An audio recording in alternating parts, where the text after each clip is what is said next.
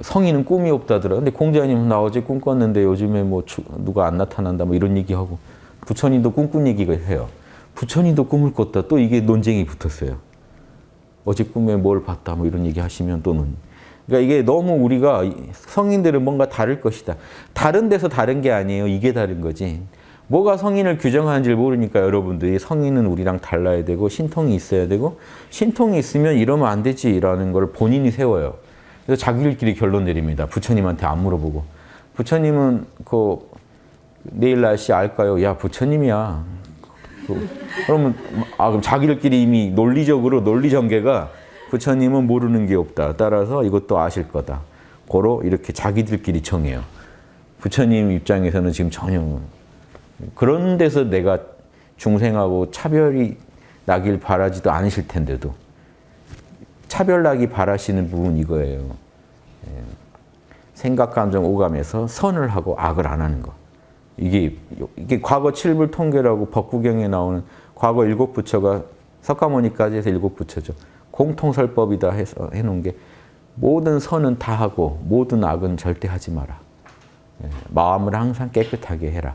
요 세개 했어요. 이게 모든 부처님의 공통설법. 그럼 이거 잘하면 되는 건데 사람들은 다른 걸 기대한다고요. 내가 못하는 뭔가를 저 양반은 인간이 못하는 뭔가를 해야 된다. 최소한 무리를 걸어야지 성인이지.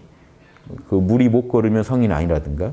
지금 이런 식으로 성인관을 갖고 계시는 경우가 지금도 부지 중에 다 깔려 있습니다. 성인인데 하고. 그럼 그, 그런 식이죠. 병원 용한 의사를 찾아가서 자 맞춰 보세요. 자 어디 아플까요? 제가. 성인, 성인이라고 생각하면 저를, 절 성인으로 안 봐주시면 좋겠는 게 오셔서 딱 그러실 거 아니에요. 자, 지금 제가 뭐가 문제게요? 뭐, 타심통, 천안통 막 써서 한번 맞춰보라. 뭔 성인이 암도 못 고쳐. 뭐 이러고 가실 거 아니에요. 불치병 고치러 오시는 분도 계실 거고. 그러니까 그동안 그런 걸 도라고 자꾸 해놓으니까 저는 전공이 그냥 양심인데 저한테 너무 다른 걸 기대하셔도 안 돼요.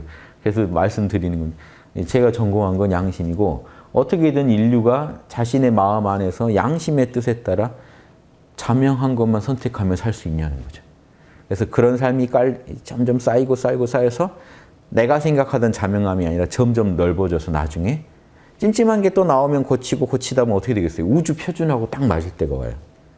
우주 표준으로 생명체가 이 정도 하면 진짜 잘하는 거다 하는 거를 기준으로 했을 때 자찜 이상으로 살아가는 분이 나오면 이런 분들이 하늘나라 갈 사람이라고 하는 거예요. 경전에서.